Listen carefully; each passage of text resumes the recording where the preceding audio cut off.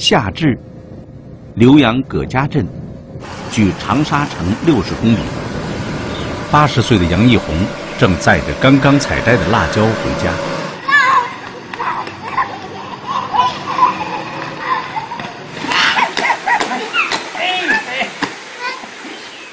杨老伯一直生活在这里，早已摸透了这片土地的习性。他从1964年起开始种植辣椒，已经长达55年。长沙属亚热带季风气候，降水充沛，辣椒的生长环境得天独厚。这里人均年消费辣椒量达十多公斤，本土生产的供应量近四十万吨，依然难以满足旺盛的需求。每年的六月至十月，本地辣椒陆续上市。长沙人对于辣椒有着无法割舍的依赖，杨义红一家更是如此。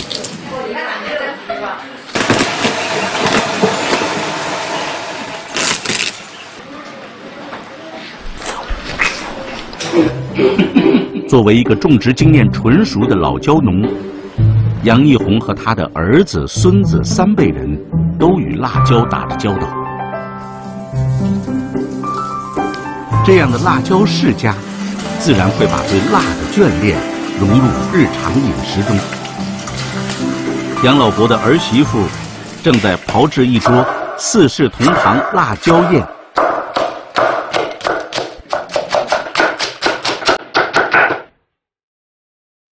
樟树港辣椒，蒜蓉清炒。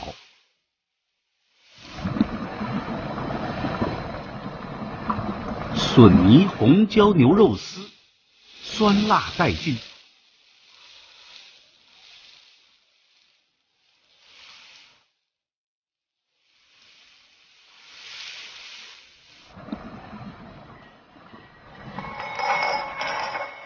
大猪小猪落玉盘，彩椒热火烹川豆。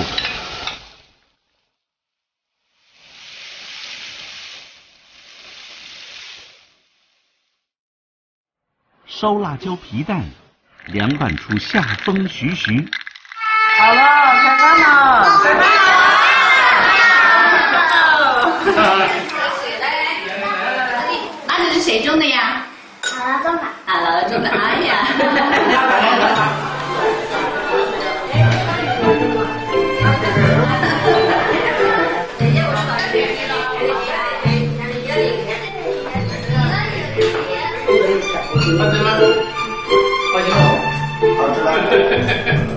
放眼望去，这一桌家常的辣椒宴，每一盘菜里仿佛都以辣领衔。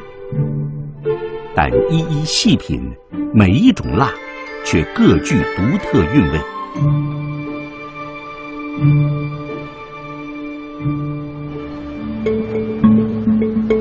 但是无论味觉如何变迁，长沙人的菜单上始终占据王者宝座的，唯有它——辣椒炒肉。花猪瘦肉少许，腌制，一瓢油下锅，慢火煸，倒入腌制的花猪瘦肉，与入花油渣旺火爆炒，蒸鱼豉油提味。下辣椒，辣椒翻腾起舞。一盘辣椒炒肉，代表的是长沙最家常的生活。辣椒炒肉承载了长沙人浓浓的乡愁。回来之后最想念的长沙的是什么？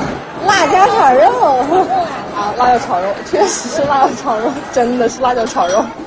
辣椒炒肉就代表长沙。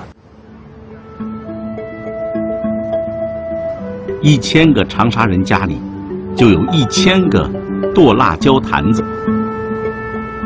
剁辣椒做法极其简单，但离开这片水土，唯有它最慰藉乡愁。雷田在上海求学，每次回家，雷爸爸就会从坛子里舀出自己亲手腌制的剁辣椒，搭配出各种开胃的菜肴。